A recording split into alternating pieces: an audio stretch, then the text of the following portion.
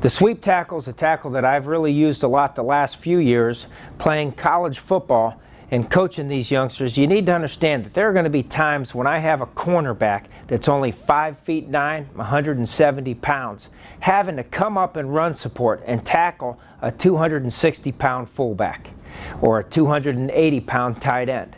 The numbers just don't match up.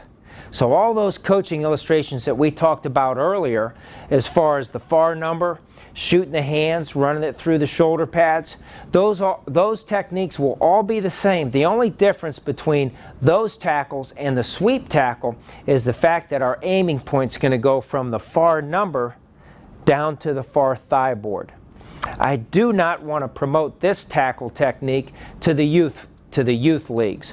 I think sweep tackling is what is something that, that, that is pushed at the collegiate level and maybe the high school level. But, but as far as the youth leagues go, I think we need to stay everything high and hard. And I think that's important for you young coaches to understand. Let's go through the sweep tackle. Number one, we want to still work through the far thigh board of the wide receiver catching the football or the ball carrier running it. We want to work through it, and as we work through it, we want to take a shot, but we want to take a shot through the man. Too many times I see uh, uh, defensive backs, especially, come up to make that tackle, and they take a shot right at the man, but they don't try to fight through the man to make the tackle. So we always talk about when you make a tackle, when you make a sweep tackle, you want to try to make a sweep tackle through the man, as if you're trying to get get through the man three to four yards behind the, the uh, defense or the offensive target point. We still talk about shooting the eyes to the sky on contact, and we still talk about shooting the hands and bringing the arms.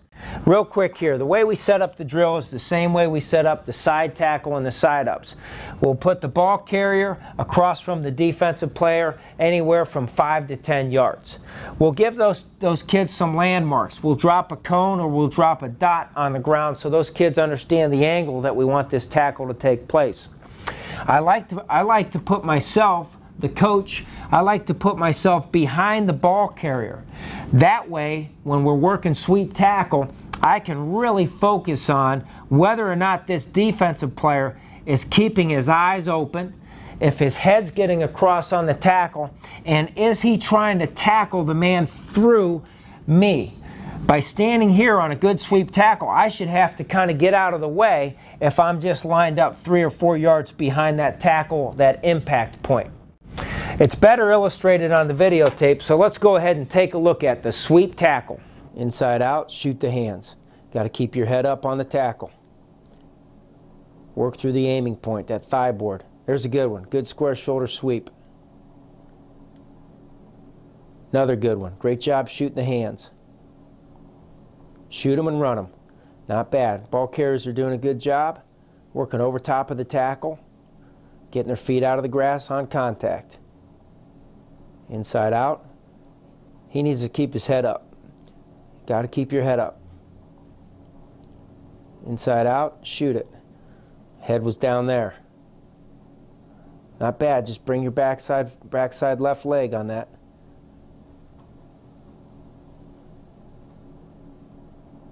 Not bad, got to fight to try to wrap it up. Realistically, you won't be able to wrap up every sweep, but you want to fight to try to.